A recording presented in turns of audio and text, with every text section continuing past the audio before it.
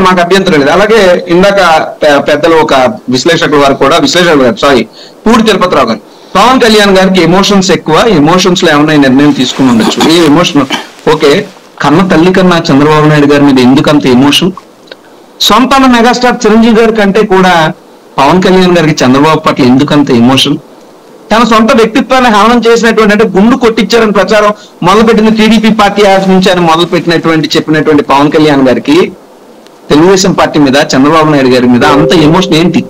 అంటే అన్న కన్నా అమ్మ కన్నా తన వ్యక్తిత్వం కన్నా అంత ఎమోషన్ ఎక్కువైపోవడం కారణం ఏంటి? దట్స్ వాట్ వీఆర్ ఆస్కింగ్ కదా? కాకపోతే మా మీద ఇప్పటికి దాడి చేస్తున్నారు. నేను ఒక్క ఒక్క నిమిషంలోనే కంక్లూడ్ చేస్తాను సార్. ఒక్క నిమిషంలోనే కంక్లూడ్ చేస్తాను. యాక్చువల్లీ ఏంటంటే ఇప్పుడు జనసేన పార్టీ ప్రపంచ స్థాయి నాయకులు రేగి లక్ష్మణరావు గారు ఇందాక అంటూ ఆయన ఏమన్నారంటే రేపు రాబోయే మంగళగిరి రేపు ఎప్పుడో వాళ్ళ కీలక సమావేశం పెట్టుకుని నిర్ణయం తీసుకుంటారు. తీసుకోవాల్సిన నిర్ణయం ఆల్రెడీ తీసేసుకున్నారు. వీళ్ళ దాంట్లో వాళ్ళ కార్యకర్తను బుజ్జగించడానికి ఇంకో మీటింగ్ పెట్టుకున్నారు తప్ప ఇంతకన్నా పెద్ద నిర్ణయం ఏముంటుంది? తీసుకోవాల్సిన పెద్ద నిర్ణయం తీసుకున్నాడు ఆయన. అయితే ప్రజాస్వామ్యంలో రాజకీయ పార్టీ అధ్యక్షుడిగా ఆయన ఏదైనా చేసుకోవచ్చు. కాకపోతే ఏంటంటే ప్రజలు చూస్తారు. ప్రజలు నవ్వుకుంటున్నారా చెదరించుకుంటున్నారా ఆహ్వానిస్తున్నారా?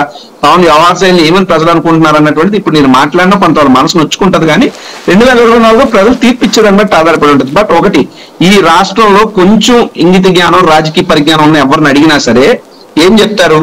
ఏమని మాట్లాడతారు? ఇప్పుడు చంద్రబాబు నాయుడు అవినీతి పరుడుగా ఆయన లోపలికి వెళ్ళిపోయాడు. ఆయన ఆ కేసు నుంచి ఎప్పుడు బయటపడతాడో లేదో తెలియదు లోకేష్కి నాయకత్వం లేదు. బాలకృష్ణ నాయకత్వం అంగీకరించడు. దా పార్టీని కాపాడేదానికి జూనియర్ ఎన్టీఆర్ బయటికి రారు. ఇంక ఈ పరిస్థితులు ఏమవుతుంది తెలుగుదేశం పార్టీ కుదేలు అయిపోద్ది అలాంటప్పుడు మీరు ఇందాక నుంచి అంటున్నటువంటి మూడో ప్రత్యామ్నాయం ఎవరవుతారు? జనసేన పార్టీ బీజేపీ పార్టీ యొక్క పొత్తులో ఉన్నటువంటి ఆ పార్టీ ఆ యొక్క కూటమే కదా ప్రత్యామ్నాయం అవుతుంది. కానీ ఆ ఆలోచన కూడా చేయకుండా అంత చంద్రబాబు నాయుడు కోసం సాగిపడాల్సిన అవసరం ఏంటి? నువ్వు ఇండివిజువల్గా వ్యవహరిస్తే మీ అన్నగారులకు ఒక ఎలక్షన్ కాబట్టి ఇంకో ఎలక్షన్ నువ్వు గెలుస్తావు కదా. ఏ నిన్ను సీఎం గా కుర్చీలో పెడతారని చెప్పి ఏమన్నా చంద్రబాబు నాయుడు చెప్పాడా? మీరు ఇందాక ఒక మినీ నాటిక గురించి పూడి తిరుపతిరావు గారు మీరు మాట్లాడారే.